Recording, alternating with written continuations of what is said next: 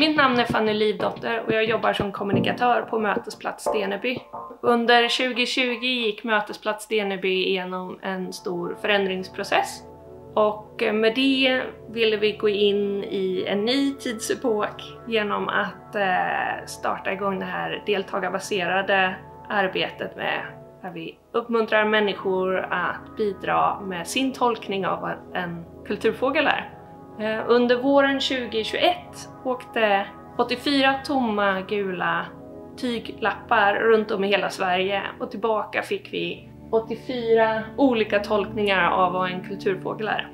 Den här backdropen eh, kommer fungera som en bakgrundsbild i inspelningar eh, och seminarium som Mötesplats Steneby kommer göra.